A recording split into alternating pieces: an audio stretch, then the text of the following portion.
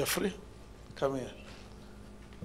The, the, the feet, they sometimes get swollen.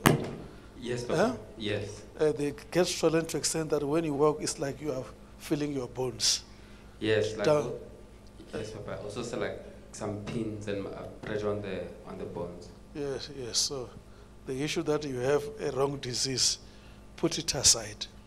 Yes, Papa. Because you normally ask yourself, which disease is this? Which disease is this? But you know in your family you have diabetes and high blood. Yes, Papa.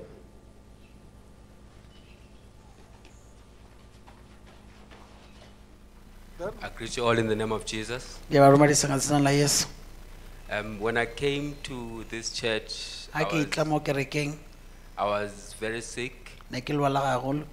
Ne ke lwala gagolo I was diagnosed with a, a number of uh, incurable diseases. ke ile ka diagnosiwa le malwetse a itšeng a a sa foleng Um, two weeks ago, beke tše prayed pedi tša for go me. fete- tša go feta di di ba ntapelela Um, yes, he mentioned something about my, my head. ba bolela something ka tlhogo ya ka So I want to thank God. Uh, last week, Tuesday, the doctor called me. One of them was cholesterol.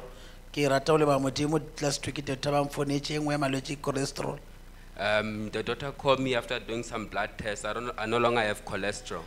doctor ba ile ba mfounela ka morago ya di-blood test a ke sena cholesterol So I'd like to thank God, ke rata go leboga modimo not mostly about the testimony, o seng ku- kudu ka bopaki but I thank God that I've found this house. ke leboga modimo gore ke khumane ntlo ye Amen. amen